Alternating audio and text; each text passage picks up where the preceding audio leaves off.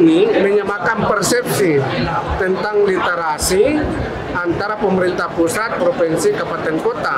Karena itu rumusannya kita jelaskan dengan sebaik-baiknya. Yang kedua, menyampaikan bahwa ini era digital. Perpustakaanlah yang menjangkau masyarakat, bukan masyarakat yang menjangkau perpustakaan. Itu sebabnya kita launching uh, super app perpustakaan nasional yang kita beri nama Bintang Pusnas.